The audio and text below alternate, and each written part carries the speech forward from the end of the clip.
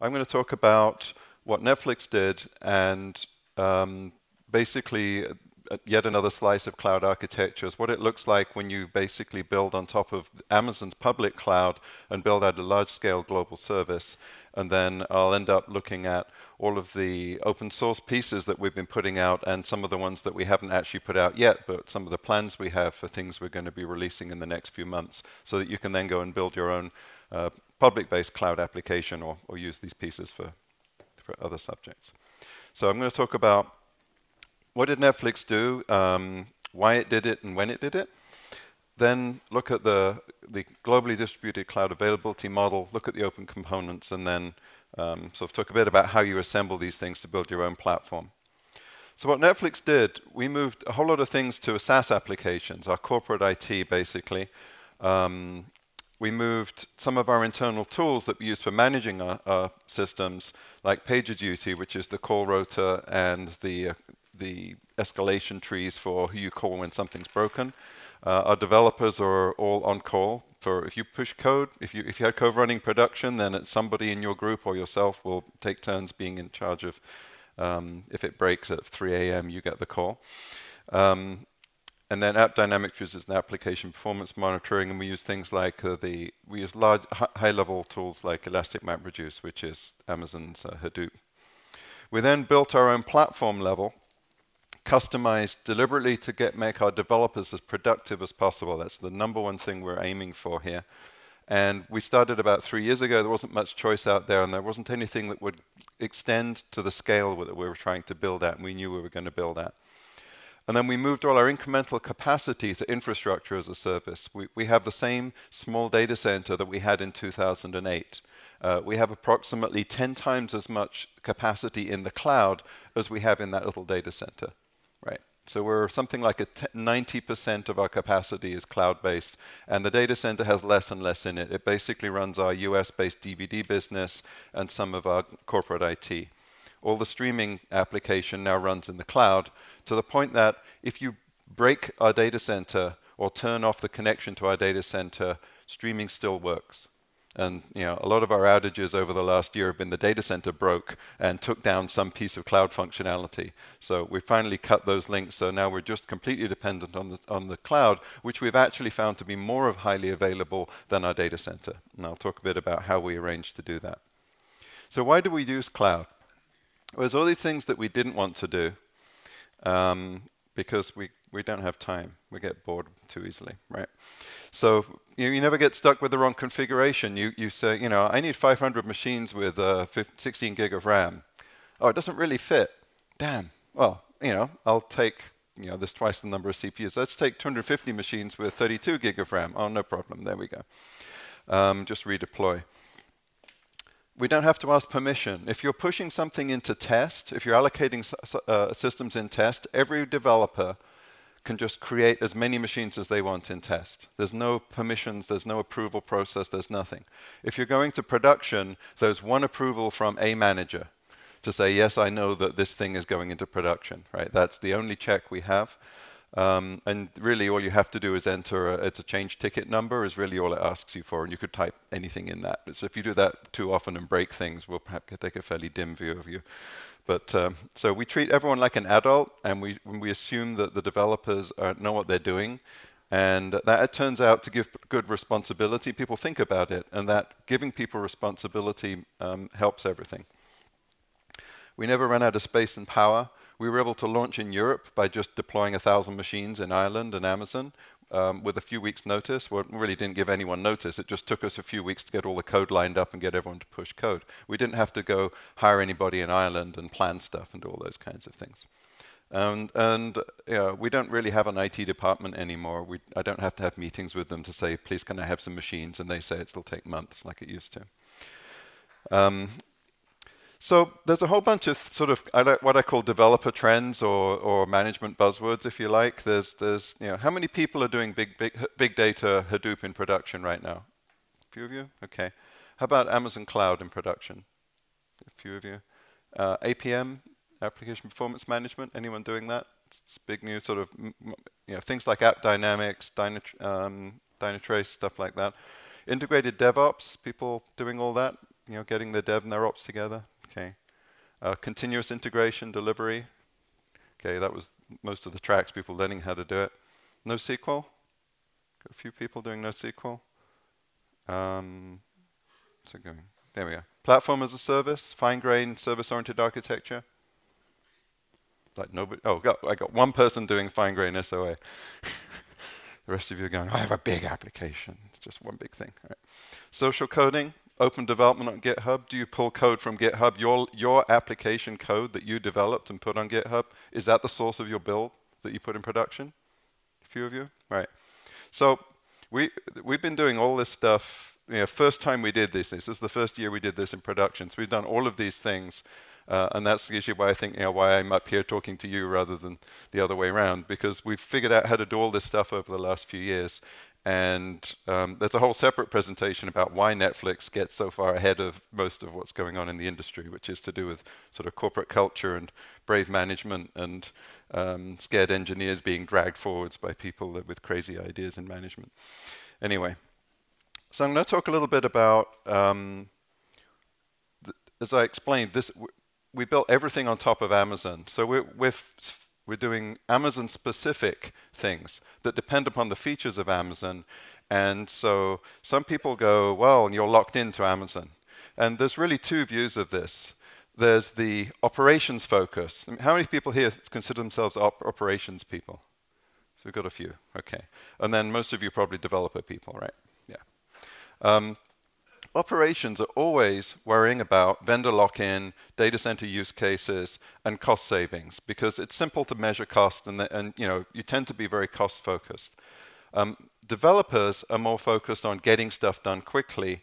Um, and if you have one mature supplier, there's less complex test and debug. You have to test everything twice if you've got two suppliers.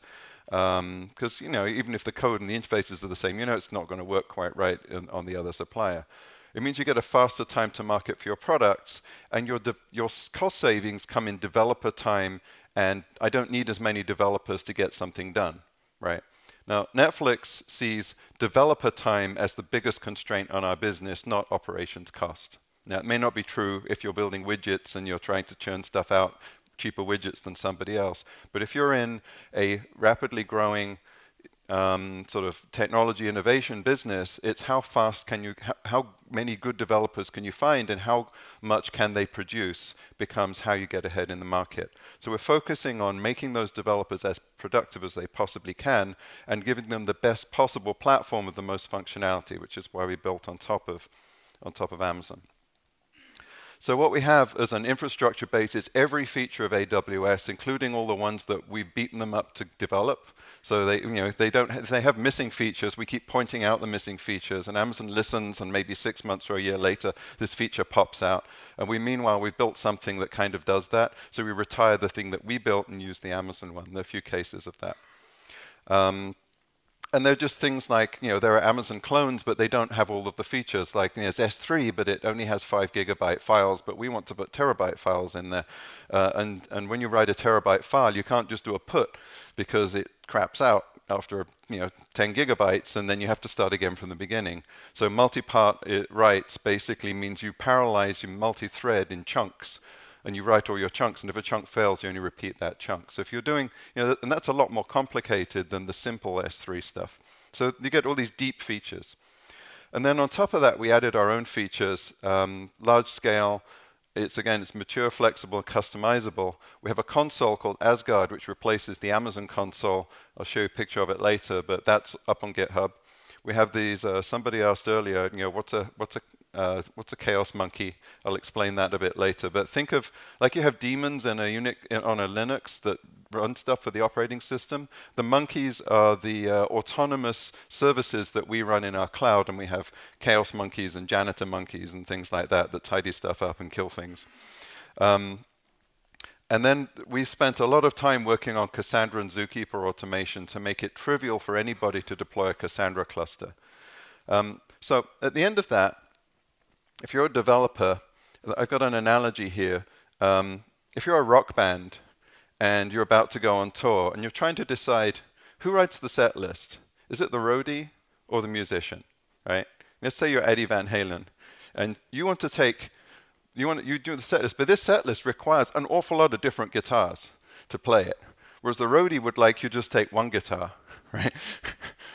Right? So that's the ops guy. I want to keep it simple. One guitar, it's easy. I can get like three copies of them and they'd be identical and everything will just work and it make my life easier. But Van Eddie wants to play all of the songs over his whole history and he needs all these cool looking guitars, including the weirdly shaped one over there. Um, so really you do need all those guitars on tour and if you're a developer you want to choose the highest functionality platform that will let you build the richest product in the fastest time.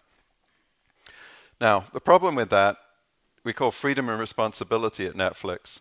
Developers are leveraging the cloud to get their freedom. We have no silos, it's a single organization. There's no separate IT ops organization that constrains what the developers can do. There's no separate product organization. We're one integrated product unit that includes all development and operations needed, and at the bottom it just calls Amazon APIs directly. Um, but now developers are responsible for those things that the ops guys used to look after for you. So you've got compliance, performance, and availability, and all these things. You just have to deal with it. And, and it turns out that you can train developers to be responsible for compliance, performance, and availability. And there's this nice Eddie Van Halen quote that he went to rehab and he, he was able to change and get better at the, doing these things. There's a version of this slide deck that has Van Halen references on every single slide because I, I did a conference where the, the guy who ran the conference was a heavy metal freak. Um, so I'm going to talk briefly about what is this service because most of you probably haven't seen it, but it is coming soon. Um, we announced a few months ago that we're launching in the Nordic countries. Um, so we're now into October, so you know, maybe later this month, maybe coming soon, a few more weeks, um, you'll see the Netflix streaming service. Now, if you go to netflix.com right now in Denmark, um, you get this nice screen here saying, please give us your email address and we'll let you know when it's coming. But one of the cool little things, and you can't really see this down the bottom, at the bottom of the page, there's something that says um, EU West 1, and then there's a funny hexadecimal looking thing, and then it says DK. So that funny hexadecimal thing, if you ever used Amazon, is an instance ID. so, that, that, so that basically we render in the bottom of the page which um, which machines had sent it to you. So that is a, a Amazon Ireland US EU West one um, machine. Uh, it's kind of a little thing. I'm, sometimes these things maybe don't come up. I have sort of various debug stuff turned on, but it's kind of fun. Um, so that's, that's what it looks like if you're not a member. When you are a member, you get something that looks more like this. It gives you a whole lot of movies. We have Facebook integration, so I can see stuff that my friends watch. Um, and uh, you know all the things that I've been watching recently, and there's a whole lot of bits and pieces there. So basically, that's the member website. It's basically giving you hundreds of movies to choose from, um, and trying to pick the ones that will be best for you, rather than just giving you the sort of alphabetical list of every movie we have. Now that's delivered via another service we have, which is a CDN. Now we have our own built-in Netflix CDN. We previously we used Akamai Limelight at level 3, but we've recently augmented that with our own CDN, and that's what we're primarily using as we're rolling out new services. Um, so Netflix is a hardware company. This is the box that we have. It's 100 terabytes of movies in a box. Uh, we give it to you for free if you happen to be an ISP with several gigabits of Netflix traffic coming through. Uh, and that saves you money and saves us money. Uh, it runs BSD, and we've put we did all of the uh, IPv6 work uh, on this box, and we put the fixes back into BSD. We found some bugs in uh, the IPv6 support. About half the world's IPv6 traffic runs from these boxes. the other half is YouTube. And then there's noise on the axis, which is Yahoo and Facebook and everybody else that does IPv6. But you know, about 90, you know, 49% of the world's IPv6 is Netflix. The other another 49% is is YouTube. That was sort of World IPv6 Day last last summer. Um, and we've open sourced not only the software for this box, but the hardware design of the box too. So this is kind of going open hardware instead of open source. Um, here's an old picture from a few years ago. We now have 800 different streaming devices that we can operate to, digital TVs and things. And we've been shipping these digital TVs into Europe for a while. Um, and what happens then when you turn on the service is that their software internally says, oh, look, I do Netflix now. Netflix icon will appear. Uh, on, so we have sleeper code in lots of, uh, lots of uh, consumer electronics devices going global. So the major services we have, we have a non-member site, a member site, CDNs, all the backend for controlling and managing and routing traffic to that CDNs is all running on the cloud. Uh, we have APIs for internal, external devices, and APIs for controlling video playback, uh, DRM, QoS, and all this. So all of these services run as fine-grained SOA on Amazon. So this is you know one view of our service. Each little box here is a different tier. It's, a, it's not a machine, it's a group of machines. So this shows the traffic between the different services. This is actually just running in our test account uh, at one point because the production one is even harder to draw and it's got too much stuff on it. So some of those boxes might have 500 servers in, some might be just five or six, something like that. If you actually pick one service, let's say our web front end, it looks something like this. Again, this is a, out of our test account. Um, so you see it says start. This is a view from AppDynamics, which is basically doing Java bytecode instrumentation and measuring the flows through all of our code. Um, so you see an end user calls the, uh, the web service, and it's talking to a whole bunch of other bits and pieces. Um, there's a uh, sim service which finds movies that are similar to other movies and a bunch of other things like that. Uh, now that's the, the overall flow, but what you really care about is a single request. So another thing AppDynamics does is it, it captures single requests. And if it sees something slow, it'll just grab it. So what I can do here is I can click in on any of these little boxes, those little black boxes, the drill in, and it gives me the stack trace of the code and where and which what exactly what HTTP or SQL request or whatever it made, or memcached or whatever. So you basically you get all the code and you can see what's going on. So this is how we drill in and figure out what, what's going on to get some idea, it's a very fine-grained architecture. Each of these services does one thing. So the Similars service, you give it a user ID and a movie ID, and it returns all the movies which are similar to that movie, but filtered for that customer, right? So if it, you know, you might find a movie like Scooby-Doo, right, which adults and kids both like. If I do a Scooby-Doo thing, it would get like adult stuff that's like that. But if it was a kid that did it, it would get the kid stuff, right? So different things like that. So we have a bunch of architectural patterns. I'll talk a bit about the availability model here. So we have lots of little isolated services that do one thing. They're stateless and they're replicated horizontally. That, uh, but to deal with that, the developer model is resilient business logic. So let's say I'm the, I'm the web service and I'm going to call this similar service and say, hey, give me the movies that are similar to this. What happens if I don't get an answer back? Well, I have to write code that assumes that I may never get an answer back from any other service that I call, and I have to do something sensible. And in this case, you just, you know, the, the movie, the home page is lots of different rows. One of the rows is a similars row. If the similar service is down, you don't get those rows. You get like normal genres or you get some other kind of rows. We just, uh, we just drop out things so that it gradually falls back to a less and less personalized experience but it's a gradual degradation. You can't really see it happening unless you know exactly what it's supposed to look like. We also put everything in three balanced availability zones, and I'll draw some pictures of that a bit later. And then we triple replicate all of our persistence, and I'll show, explain more about that. So I'm giving a talk later tomorrow afternoon in the NoSQL track about uh, highly available NoSQL with Cassandra, and I've got a whole load of slides, a lot more slides there about uh, Cassandra and how we use that.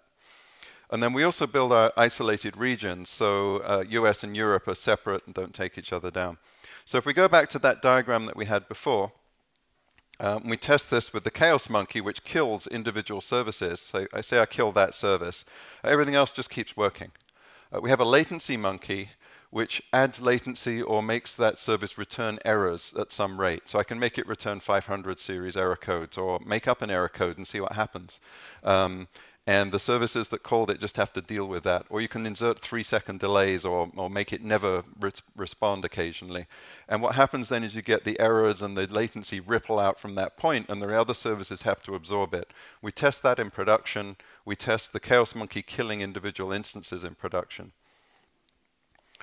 So, like I said, we have three balanced availability zones. So there's a load balancer at the top, it's feeding all the traffic into zone A, B, and C, which are separate buildings, which are around a millisecond apart, right? So they're separate data centers within Amazon's environment.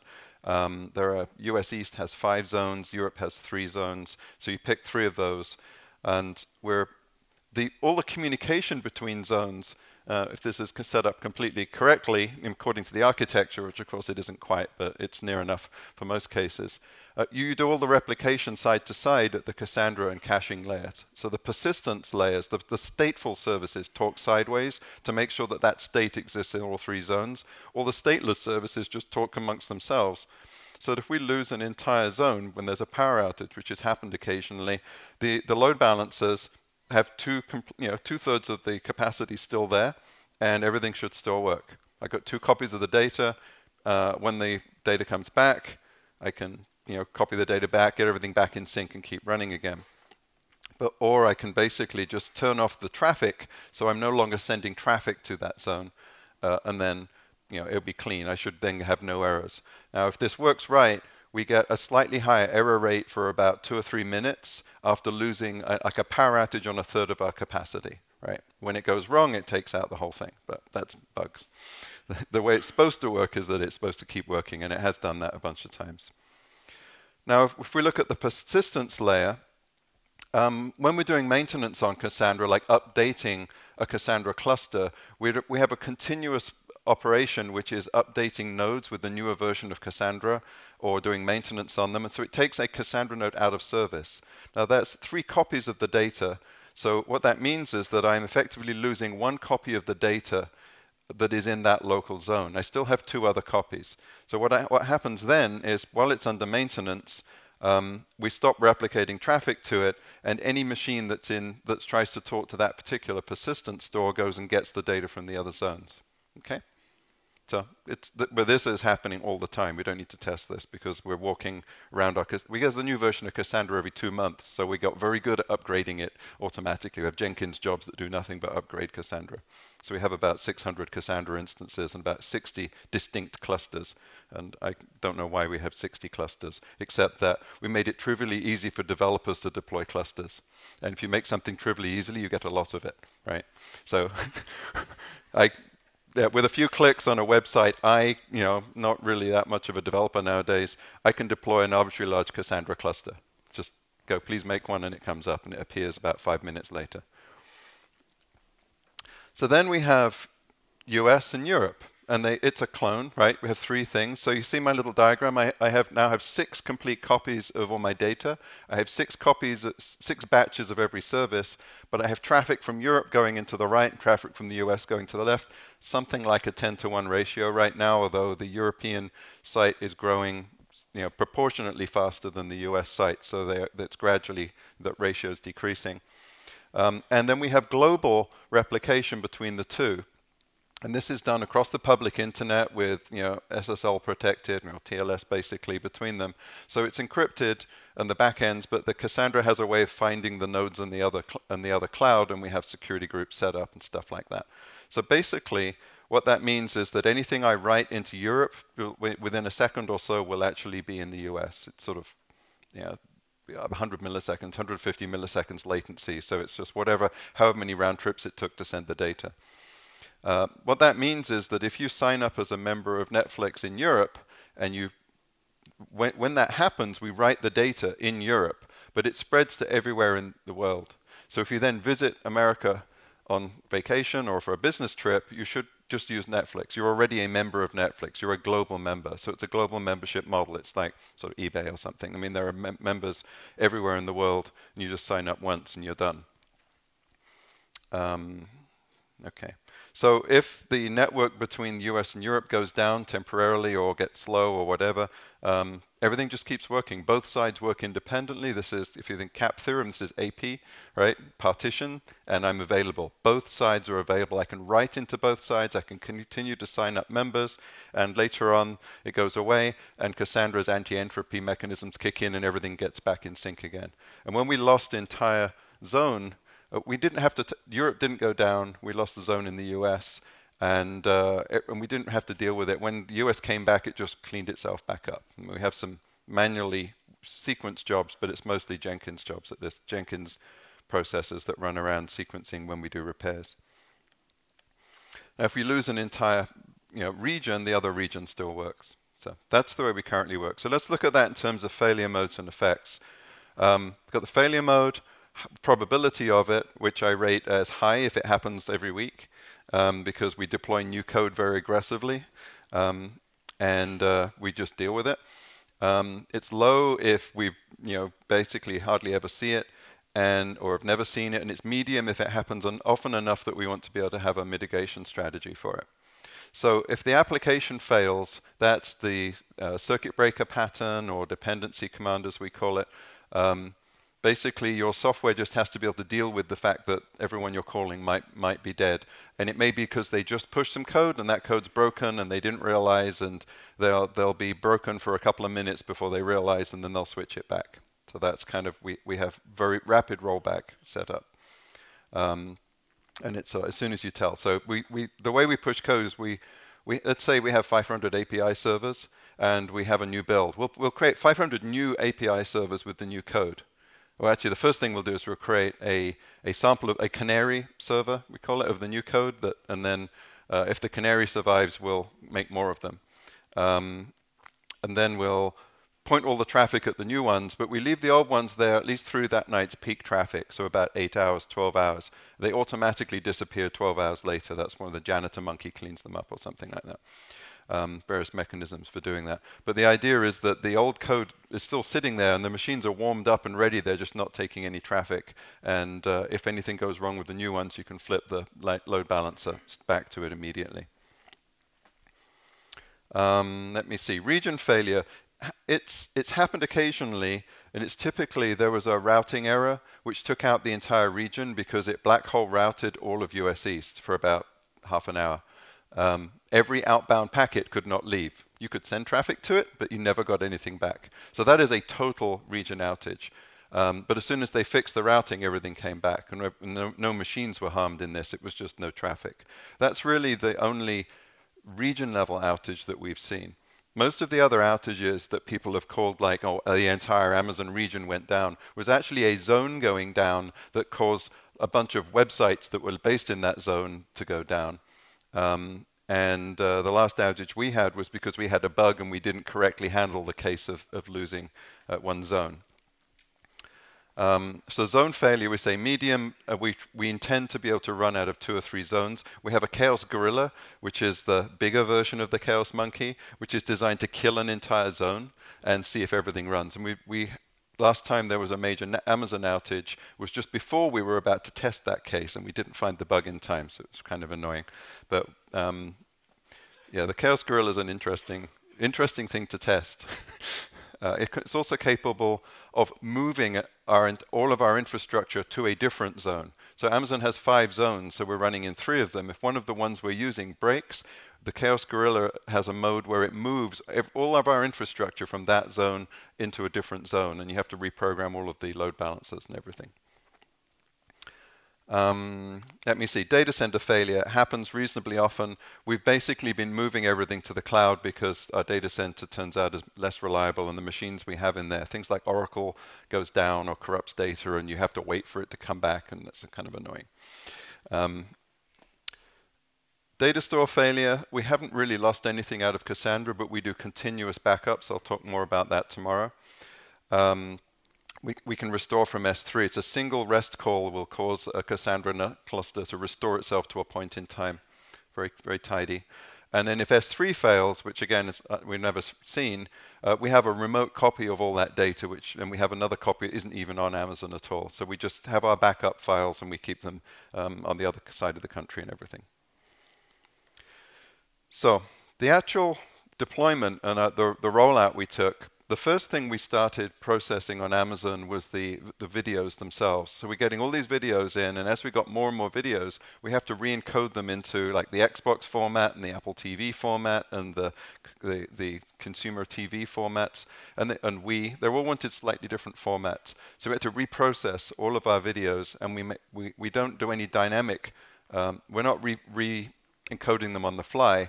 We're doing very high quality encode. So we're putting a lot of effort, a lot of CPU time into getting the best possible picture at the lowest possible bandwidth. Right? That it's worth spending longer because we have enough customers that we know we're going to be showing that video stream lots of times. If you do on-the-fly encoding, which is sometimes used particularly for mobile because it's relatively low bandwidth and there are too many different types of mobile devices, you tend to get much lower quality encodes that way. That feeds CDNs, goes out through the ISPs, and the, the data rate we are feeding to our customers is measured in terabits. It, it's still measured in terabits at 4 a.m. right? Our low point in our graph is still terabits, right? Where the high point is lots of terabits. Um, and the last number we saw was 32% of the total US uh, I, um, bandwidth to customers.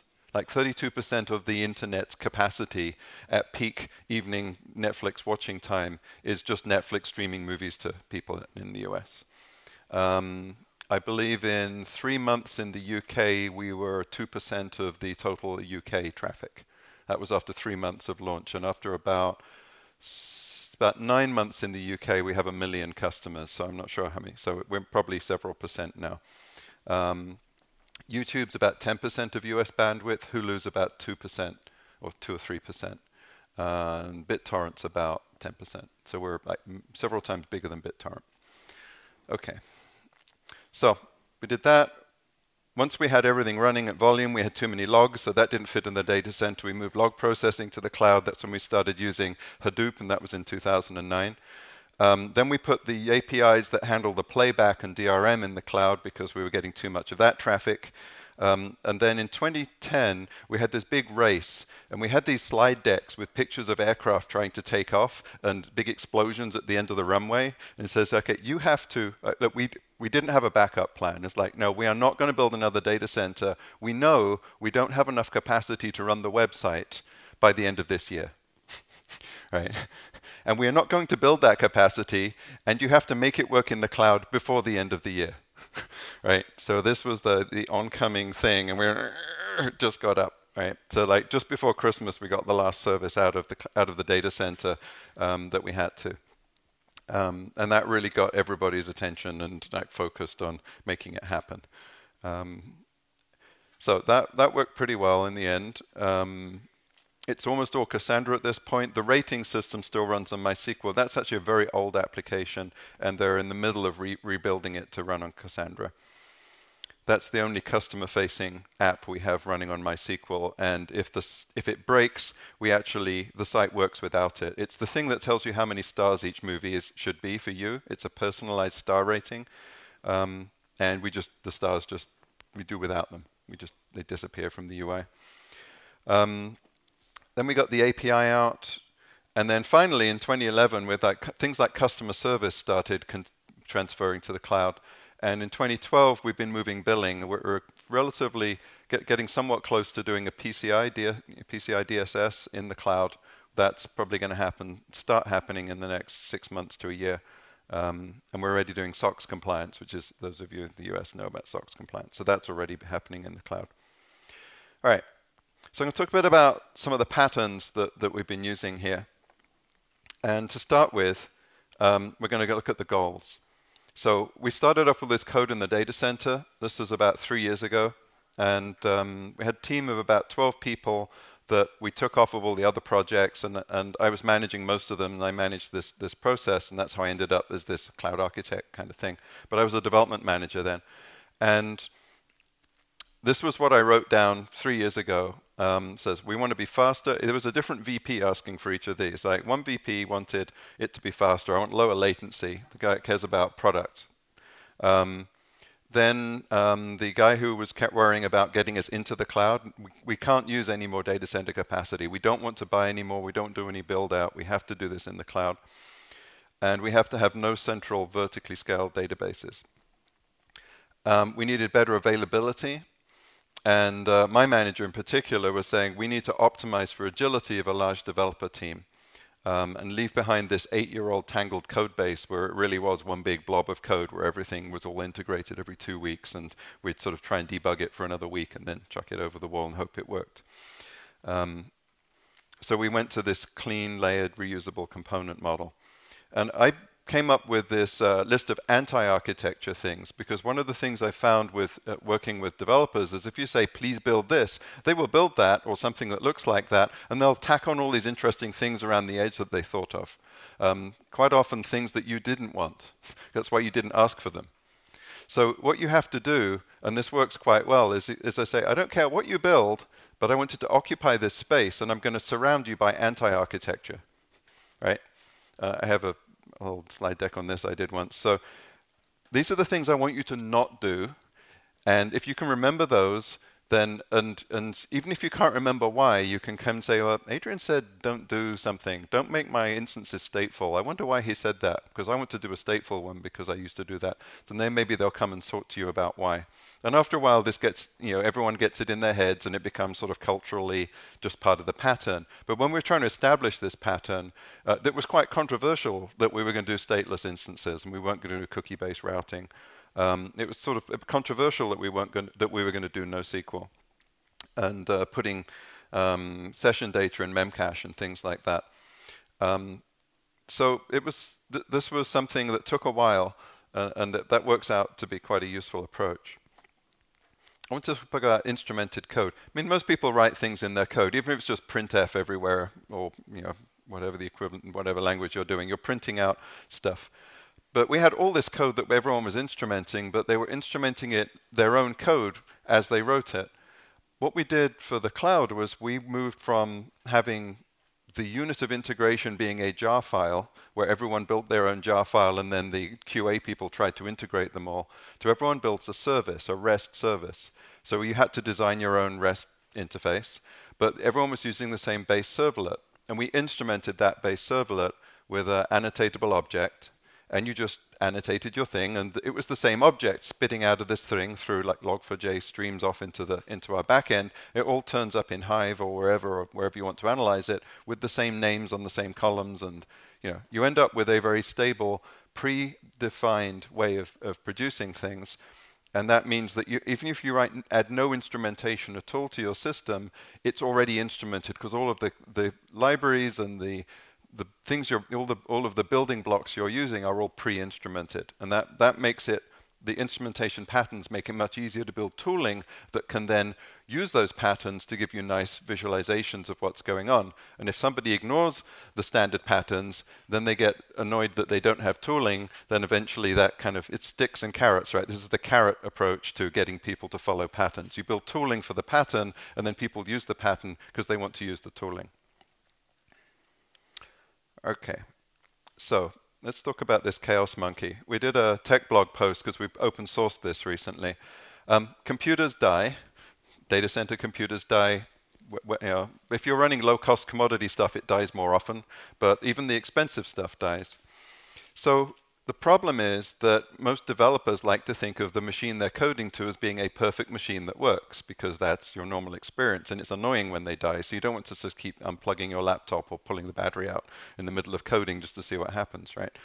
Um, but in order to test the error handling code that you've built, you have to inject failure. And what we're doing here with the Chaos Monkey is in a distributed fine-grained SOA, killing individual instances is, is a way of injecting that kind of failure mode. So between 9 a.m. and 3 p.m. every weekday, we randomly pick a machine in production and we kill it. Um, of you know, it just randomly picks stuff, and, and, then in test it does the same thing, but at a higher rate because there are fewer machines and you, know, you can opt out if you're in the middle of debugging something and something's in a certain state. Sometimes you forget, which is annoying, but, but you, you opt that one out so it doesn't get killed underneath you. And we made this a default on, and it was one of the first services we set up. So as people started to develop in the cloud, there was always a Chaos Monkey there, right? You can't put it in as the last thing you do before you go live because it will discover all of the bad things that you've been sneaking in there. And there's a nice little um, Chaos Monkey logo uh, that somebody at Amazon made some nice T-shirts with chaos monkeys on too. I may may wear that tomorrow. Um, all right, so this sort of chaos monkey idea spawned a whole lot of what we call the simian army of monkeys. So we have many of them now, and we're open sourcing more of them soon. Okay, so if we make developers responsible for failures, then and wake them up at 3 a.m. when they write broken code that breaks at 3 a.m., then they learn to write code that doesn't break. Um, and, you know, it's possible. I mean, if you don't learn to, then you probably just leave other, or get pushed to leave. Um, but generally speaking, we, you end up with a team of developers who, who can go really fast because they're not having to deal with other people getting in their way, but they're responsible for what they're doing. Use incident reduce to find gaps to fix, make sure there's no blame in the room, nobody gets upset in an incident review. It's all about okay, what do we, what, how can we fix? What con- you it's either you give somebody the wrong context or the information wasn't there. There's, there's, there's always a good reason. If somebody's incompetent two or three times in a row, it's better you know we'll find a way to get rid of them, right? But that doesn't happen that often. Um, so a couple of things that you figure out. One is that um, there's a natural tendency when, when you notice things timing out is to extend your timeout. It's actually better to shorten your timeout because it's much better to turn a timeout into an error. The sooner you turn the, uh, something that's slow into an exception, um, the system just behaves better with propagating errors through it than propagating latency. Because what happens when something gets too much latency in it is you start tying up all your threads and everything gums up and you start affecting the ability for other services that would otherwise have succeeded to get into your system. So be very careful about that. And the other thing is to make all your configuration options dynamic. You don't want to have to push code to tweak the timeout on a service or turn off a feature or something like that. And we have we built a, and we've open sourced a, a hierarchical dynamic configuration system called Archaius. And what this gives us is the ability to apply override configuration at any level of granularity. I can do a global override to everywhere that we have this service deployed. I can do it to one instance in one zone, or I can do it all the instances in zone A, or I can do it to all the instances in Europe. So it's got a hierarchy and a series of overrides and defaults and we do a, it's actually, the backend we have for that is actually a, a, Cassandra cluster which runs in all of these different zones. So you change this property and it propagates through Cassandra and then every, every region uses it. Um, if you were, if you've been following uh, Michael Nygard's release, release it book, that's a fairly popular book in this audience.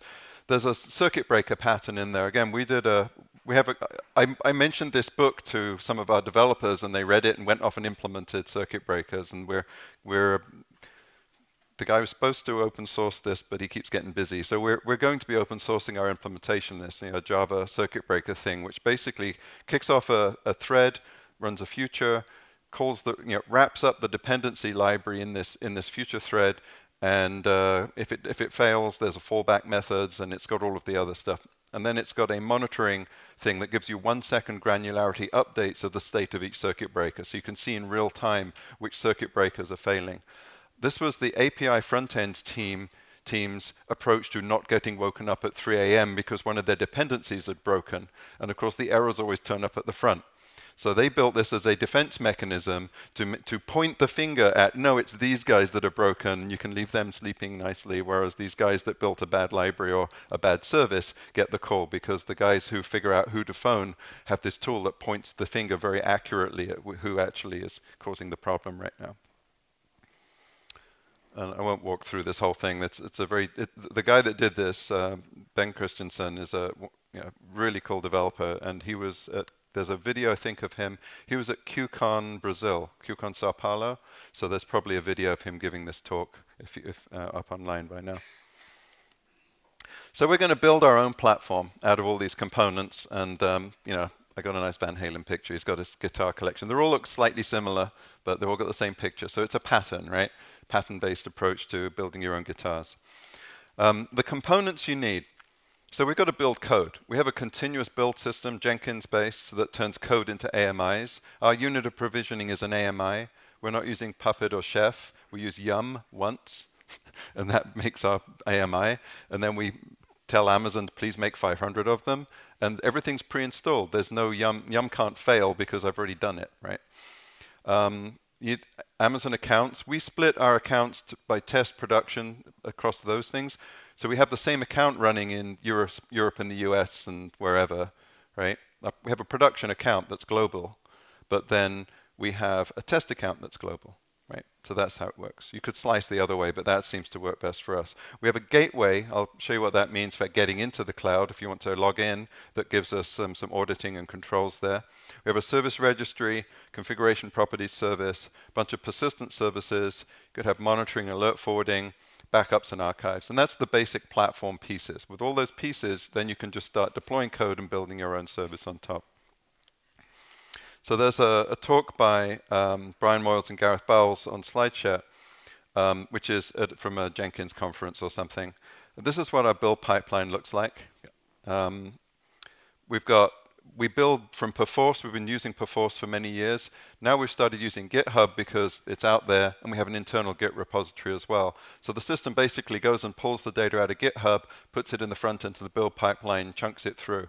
So if you want to deploy new code to production for one of our open source projects, most cases, it's not always true, but most cases you put the code into, you know, you test it locally, but the production version, you actually put it into the open source repository and then it flows back down through when we use it.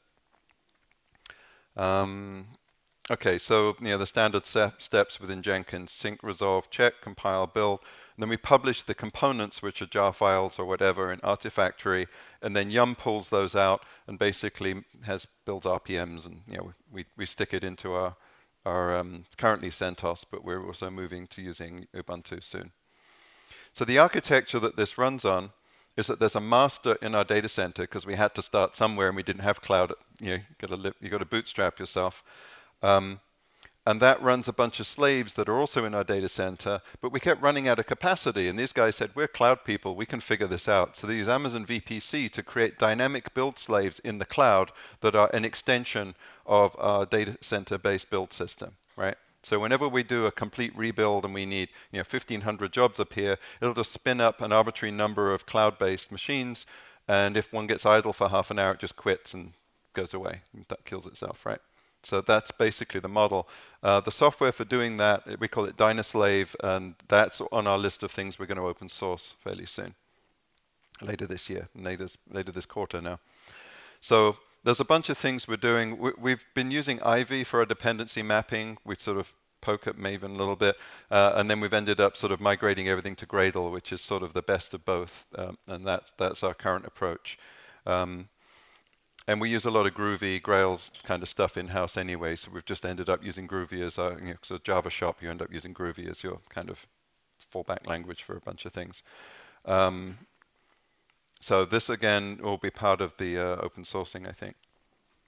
So the bakery basically creates these base AMI. So, well, the first step in the bakery is that about once a month we create a new base AMI that contains all the latest patches and stuff that we care about and built-in monitoring tools and stuff.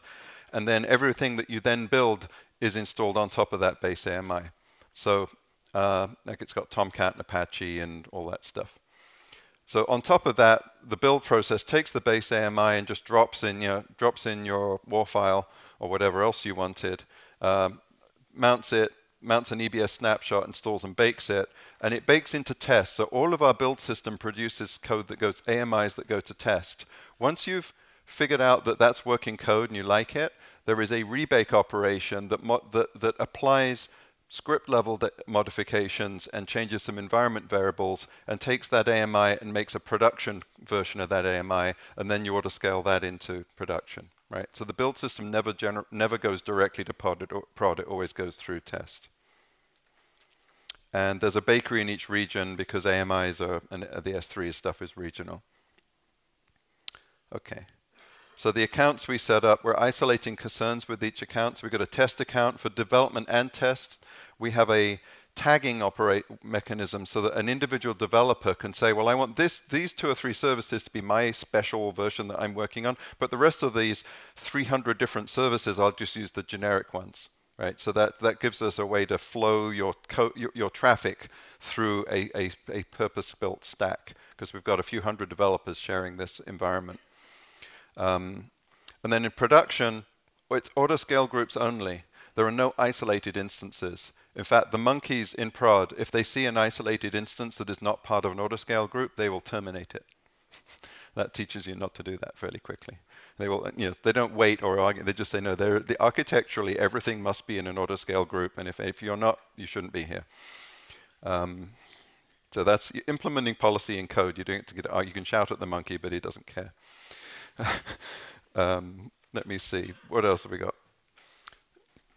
We have an audit, a separate account for audit. So you want to, if you're going to be audited for SOX or PCI, you want to keep that that concern as small as possible. So we've got like 10,000 machines in our regular account. this one's got maybe 100, less than 100 machines. And there's a few developers that have the special LDAP group and the special privileges, and, and they can get into those machines. Uh, and then we've had the people that have been like a positive background check that can actually get into the vault where they keep the credit cards and all that kind of stuff. So you know, you've got to have more and more access controls and more auditing to get access into these systems. But you know, 99% of our code and developers don't need to touch that and they don't deploy to that system, so we can leave it very open and free to, for them to work, uh, what, do whatever they want. And then we have a separate account for disaster recovery and archives that is a read write but no delete and it uses S3 in the overwrite mode. So you can't delete something by overwriting it it just stacks the versions right? And then it times everything out after a few months. And that's where we keep our archives on the other you know we put them in a different we archive into a different region and it's a different account with different credentials, so you can't sort of crack the account and then get into this one. And we encrypt the data we put there too, just because we're paranoid, I guess. Um, reservations, there's some interesting things people are still trying to figure out with Amazon, but you can combine all your accounts into one bill, and you can pull capacity to get bigger volume discounts. And reservations, there's a couple of cool things you can do, but just by using reservations, you get a 71% discount. Once you get a few million dollars worth of volume, there's additional discounts on top of that. So if you're putting a, a substantial amount of traffic into Amazon, it's like any enterprise vendor at this point. You're into increasingly large discounts. So don't look at the list published list price and assume that that's the, the, the price at volume. You, you, can get, you can get it down. Um, you also get priority with reservations. So if I've got an unused reservation, I say, please give me that machine, you're guaranteed to get that machine provisioned to you. If you're doing the on-demand thing and they happen to be out of stock, then you can say, you can get back a little error. Sorry, we don't have any of them left kind of thing. But if you reserved it, you get it. Um, and then this very cool thing, which may, if you don't get this and you, and, you, and you care about it, talk to me later. Unused reservations are shared among accounts. So we have unused reservations in production because we're that's where we want our extra capacity to be and we want to always guarantee them. But we have all these machines in test that is just fluctuating capacity. And when at the end of the month, the, the unused reservations in production are applied to the machines we have in test. So we actually end up using, you know, getting a big discount on our test machines. Right? But I'm getting the benefit of the reservations in production. It, it's a neat trick, and, and anyway, don't worry about it if you didn't get what I was talking about. Um, so we have a bunch of developers, and they all want to get in. Uh, everyone's been to King's Cross in London, and the anyone's into um, all the Harry Harry Potter stuff. That's actually they have this sign up on the thing, like a station between st uh, platform nine and platform ten. There is actually a, a wall with platform nine and a half or three quarters or whatever it's written on it. So it seems like a good gateway thing. Um, so we have all these different, know, let's say I have my web server service and I have a data access layer service and then I have a Cassandra service. And all of the security groups are set up for them to be able to talk to each other. And I want to SSH in and mess with one of these or watch it or run VMstat or something like that. Um, if I log into the front end, I can then, uh, the SSH, I can't get to a different service. I, I, can only be in one instance. I can only get to my instances through the gateway, which means I can audit log everybody that ever logs in, everyone that ever copies data back and forth. So we have a history, and we use this in production, but for the auditable audit account, this is quite important. We can track because we can control and we can see what's going on. We don't stop you doing it, but we, we log everything. So we know who logged into which service and what they did and whether they copied anything back and forth, right? And that's very useful if something weird happens and you find that a system's in a weird state. You can find who did it and ask them why they did it, and you know. It's not usually for like malicious reasons. It's usually that somebody didn't realize that they were doing something that would break it. Um, but the key thing here is that the security groups on the individual machines only trust the gateway. They don't trust each other. Uh, and that's uh, it, we always set it up that way. Everyone's used to it. And um, it's a neat way of, of, of, configuring everything. So let's add some code. Um, how much time have I got? Am I out of time? Yeah. Okay. Let's see. I'll go a bit quicker. Um, this is our GitHub account, which we made using some Netflix things. But these are the um, different apps we have. Uh, let's go through. We have the, well, we have all the different phases. So image baking, ASGs, uh, launching, registering, configuration, all the runtime stuff. This is Asgard. Uh, I got a summary thing somewhere. There we go. So this is the open source projects we have. I can't even read it on my screen here. Can I make this bigger? Um, all right. So we have um, Priam is Cassandra as a service. I can deploy a Cassandra cluster trivially. It, it automatically configures everything. Astyanax is a client library. All the ones that are in red are currently on GitHub. Um, it's an improvement. If anyone's been doing Cassandra, they may probably using Hector, which is the standard Java client. We, there were a bunch of things that weren't working well for us, so we wrote our own. CassJMeter is a test suite. It's a modified JMeter for, for putting stress testing. And then we have Zookeeper and, and uh, Zookeeper patterns, um, a discovery service like a service registry, um, a dynamic property service that I mentioned. We have autoscaling scripts which basically let you publish a business metric into Amazon so you can use it as an autoscaling metric. Um, Log4j streaming. Asgard is this massive console, uh, big Groovy Grails app. Um, and then we have the Chaos Monkey. So those are the ones that we've got out already. We've had blog posts about EV Cache and Circuit Breaker, um, but those are going to come out as code as well pretty soon. We have an Explorers framework, which is uh, all of the consoles and dashboards you need to view everything. There's a Cassandra Explorer that lets you see all the clusters and see the schemas and rummage around and see what's going on. So it's um, anyone here use Guice, Google Guice for dependency injection? So that's Governators coming out soon. That's uh, we, we've got there's a big mess of trying to figure out how you initialize everything in the right order, and we're, we're just re-engineering everything right now to be based on Governator, which is a juiced version of Guice, sort of. Um, Odin, we've, we've got Asgard and Odin. We ran out of Greek gods, so we started doing Norse gods, or one of the groups decided to. There's a workflow orchestration piece. Um, entry points is a interesting service. It's a log of the state of the system, of everything in the cloud, with a full history. So I can say exactly what state was, the site, was everything in at this point in time. And there's a bunch of, the, monkeys tend to rummage around in that. It's all database service. Um, latency error injection, a, a, a, more sophisticated middle tier load balancer. Uh, Janitor Monkey goes and cleans up Amazon resources that you haven't used for a while. Um, the whole bakery and Dynaslaves I've mentioned. Um, so that's basically, we've got what we're working on next. I mean, we've been working through this year on resiliency, um, more automation, hardening, lower latency, open sourcing everything for everybody, um, getting more IPv6 worked through everything. And we're going to be, our goal is to get as much of this out as possible by the end of November, which is where Amazon has a, a huge conference in Las Vegas called AWS reInvent. And uh, we've got, I think, more than 10 Netflix people presenting, including our CEO, who's doing a talk on the future of cloud and we saw an internal version of that, and uh, half the, he knew more about cloud than half the engineers in the audience, so it was kind of interesting. Um, so that's that's it, basically. So done. Sorry about going over time.